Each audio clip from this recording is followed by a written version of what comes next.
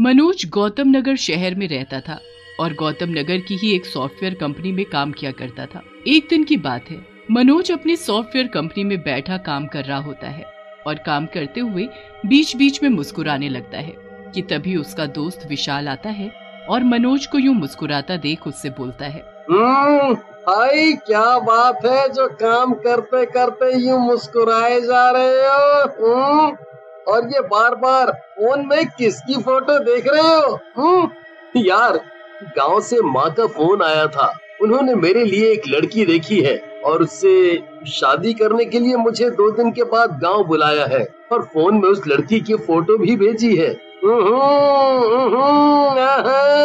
अच्छा जी। तो ये बात है इसीलिए जनाब इतना मुस्कुरा रहे थे। हम्म वैसे अभी फ़ोटो में तो बहुत ही सुंदर लग रही है। हम्म तो फिर कब निकल रहे हैं हम दोनों गाँव के लिए? आपकी दुल्हन लाने? हम दोनों? आ भाई, हम दोनों। ठीक है, तू भी चल लेना। यार, मेरा तो मन है कि मैं आज रात को ही बस से गाँव के लिए निकल जाऊँ। पर माँ ने फ़ोन पर कहा है कि दो दिन बाद अमावस की काली रात है और उस काली रात को एक खुंखार भेड़िए की आत्मा भटकती है। इसीलिए मैं दो दिन के बाद गाँव आऊँ। अरे यार, तू शहर में रहकर भी इन बेकार की बातों पर यकीन करता है? हम्म भाई, अब तो चाहे काली रात हो या डरावनी रात, हम दोनों दोस्त अब कल सुबह ही गाँव के लिए निकलेंगे और तुम्हारी दुल्हनिया को लेकर ही वापस आएँगे। हाँ। फिर अगले ही दिन मनोज और विशाल बस से गाँव के लिए निकल पड़ते हैं। गाँव पहुँचते हुए रात हो जाती है। मनोज विशाल से कहता है यार विशाल हम दोनों को यहीं उतरना होगा।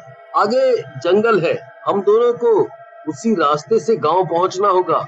जंगल का रास्ता गाँव का सबसे शॉर्टकट रास्ता है। फिर वो दोनों बस से उतरकर जंगल के रास्ते से जाने लगते हैं। यार आज आसमान में ना जाने ये कैसी डरावनी काली घटाएँ छाई हुई हैं। मुझे तो कुछ ठीक नहीं लग रहा है। और वैसे भी माँ ने कहा था कि अमावस की रात को मैं गाँव ना आऊँ।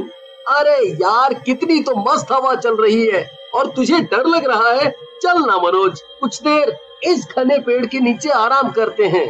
हम्म? ऐसे बोलते ही विशाल एक पेड़ के नीचे लेट जाता है और लेटते ही उसकी आँख लग जाती है।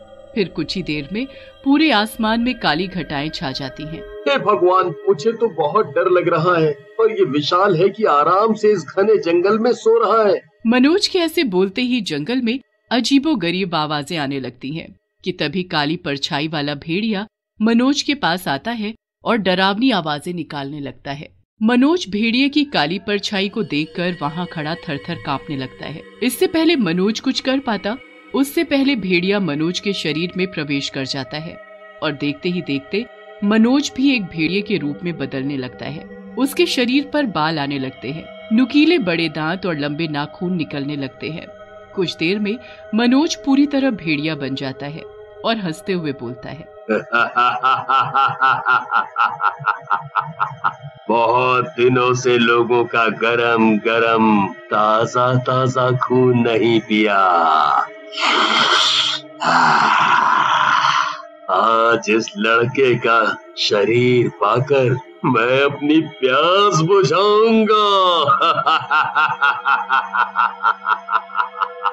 तभी विशाल मनोज को भेड़िया बनता हुआ देख लेता है और बोलता है अरे मर गया अरे मर गया। अरे ये मनोज तो सच में एक भेड़िया बन गया है। इसका मतलब भटकते हुए भेड़िए की आत्मा इस मनोज के शरीर में चली गई है। अरे वाह, क्या बात है मेरा शिकार खुद ही।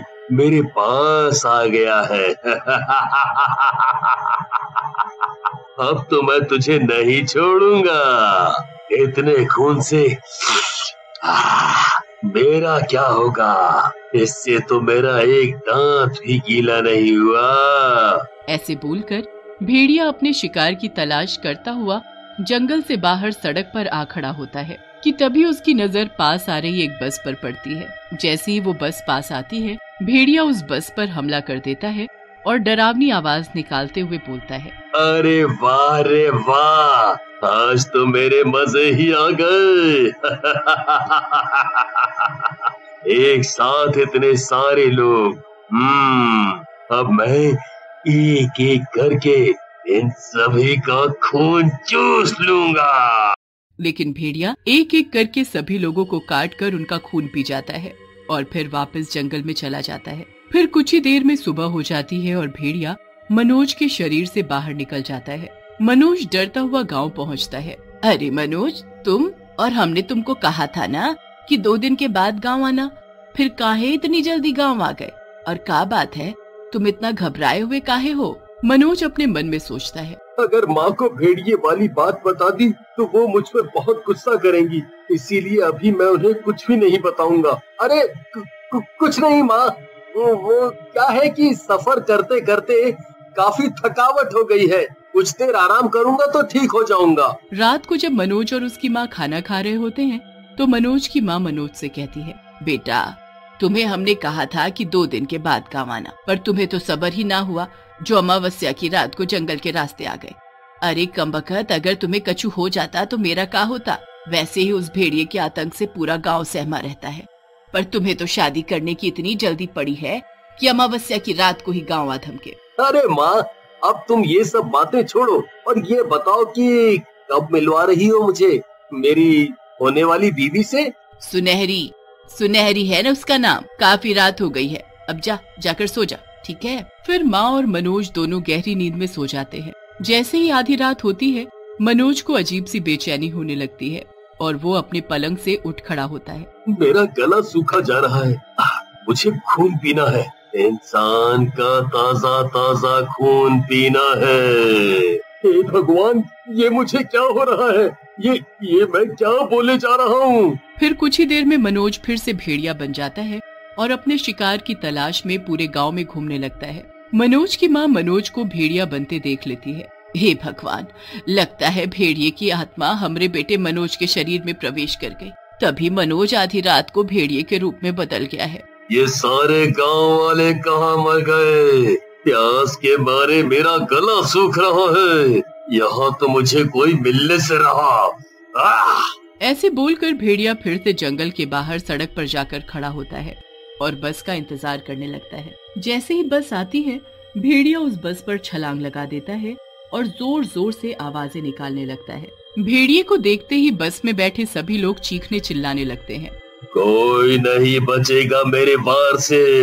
मैं तुम सभी का खून पी जाऊँगा और अपनी प्यास बुझाऊँगा। ऐसे बोलते ही भेड़िया सभी को मारकर उनका सारा खून पी जाता है और सुबह होते ही भेड़िया मनोज के शरीर से बाहर निकल जाता है। मनोज घर जाकर अपनी माँ को भेड़िए वाली सारी बात बताता है। बेटा, तुम चिंता मत करो, सब ठीक हो जाएगा। ऐसे बोलकर माँ मनोज को लड़की दिखाने ले जाती है। मनोज और सुनहरी एक दूसरे को देखते ही पसंद कर लेते हैं। माँ सुनहरी के पास जाती है और बोलती है बेटी तुम्हें मनोज पसंद तो है ना? जी माँ जी पर क्या बात है? आप काफ़ी परेशान लग रही हैं। बेटी मैं तुम्हारे साथ धोखा नहीं कर सकती। फिर माँ सुनहरी और उसके पिता को भेड़िए वाली सारी बात बता देती है। मैं अपने बेटे को ना खो दूँ, इस डर से ये भेड़िए वाली बात मैंने किसी को नहीं बताई। आप चिंता ना करें। हम सभी मिलकर आपके बेटे को उस शैतान भेड़िए से मुक्त करा कर ही रहेंगे। हाँ। फिर आधी रात होने से पहले ही सुनहरी के पिता कुछ गाँव के लोगों के साथ मनोज और उसकी माँ को मंदिर ले आते हैं। पुजारी जी मनोज को माता की मूर्ति के आगे बैठाकर पूजा शुरू कर देते हैं। जैसे ही आधी रात होती है मनोज फिर से भेड़िए के रूप में आ जाता है। ए शैतान भेड़िए मैं जानता हूँ कि तू वही है। जिसने बेचारे कई लोगों का खून पीकर उन्हें मार डाला। पर इस बार तू नहीं बचेगा। जब तक तू मनोज का शरीर छोड़कर कहीं दूर नहीं चला जाता, तब तक मैं ये गंगा जल तेरे ऊपर ऐसे ही छिड़कता रहूँगा। भेड़िया गुस्से में आकर ज़ोर ज़ोर से डरावनी आवाज़ें निकालने लगता है। वहाँ थाली में रखा लाल सिंदूर अपने हाथ में लेकर भेड़िए के ऊपर फेंक देते हैं। भेड़िए के शरीर पर माता का सिंदूर पड़ते ही भेड़िया दर्द से कराहने लगता है और देखते ही देखते वे मनोज के शरीर से बाहर निकल जाता है। अब तो मैं इसी मंदिर में अपने बेटे मनोज की शादी सुनहरी से करवाऊँगी। फिर मनोज और माँ पुजारी जी और सुनहरी के पिता का धन्यवाद करते हैं और अगले ही दिन मनोज की माँ और सुनहरी के पिताजी खुशी खुशी गाँव के मंदिर में मनोज और सुनहरी की शादी करा देते हैं।